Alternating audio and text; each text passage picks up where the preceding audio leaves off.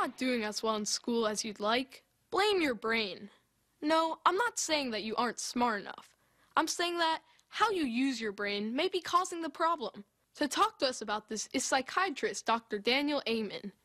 He wrote the book, Change Your Brain, Change Your Grades. Hi, Doc. So happy to be with you. Ask just about anyone what makes the difference between being a C student and being an A student.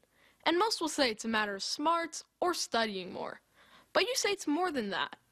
No, in fact, it has way more to do with the physical functioning of your brain than anybody knows. Over the last 30 years, we've been looking at the brain, and what we discovered is that when your brain works right, you work right. You're a better student. You work better. You do better in relationships. Everything in your life is better.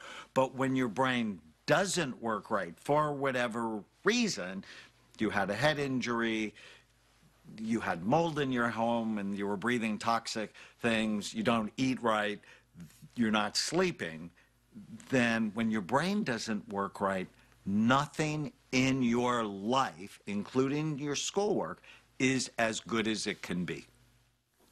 You list five different types of brains balanced, persistent, sensitive, cautious, and spontaneous. We haven't the time to explain all of these, so let's just discuss the one you call the spontaneous brain. What do you mean by that? The spontaneous brain often has sleepy frontal lobes. So, what does that mean?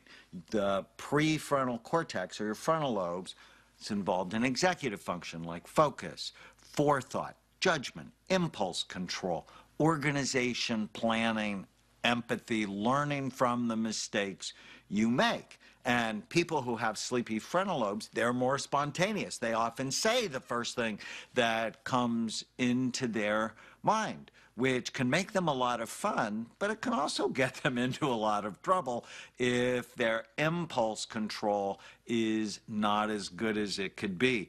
I certainly know people like that. So if you have a spontaneous brain, how can you change it to do better in school? There are a number of ways to strengthen your frontal lobes and be more cautious, more thoughtful. So exercise helps. Having breakfast in the morning because it helps balance blood sugar and actually boost blood flow to the frontal lobes. In your book, you list a number of ways to improve blood flow. For example, drink lots of water, eat colorful vegetables, and avoid caffeine. What's the problem with caffeine? It's just an epidemic of kids using caffeine to try to focus better. They're even vaping uh, caffeine. And caffeine powerfully constricts blood flow to the brain. So even though it gives you that energy and focus boost in the short run, actually it can become addictive. It's a drug. And the more you use, the more you need in order to feel its effects. So I'm just not a fan of caffeine. We often hear about the value of exercise, but you specifically say to play a racket sport. Why? Well, there's a study from the United Kingdom that looked at aging and sports. And people who played football and soccer actually lived less long than anyone else. Um, the people who lived the longest played racket sports like tennis, table tennis, badminton, squash.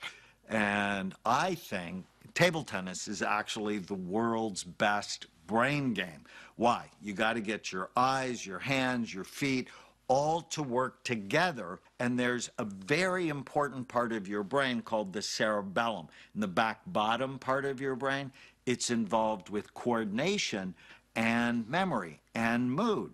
And so doing coordination exercises like table tennis boosts your cerebellum, which then boosts the rest of your brain's ability to learn and think. Thanks, Dr. Amen. You've given us a lot to think about. My joy to be with you.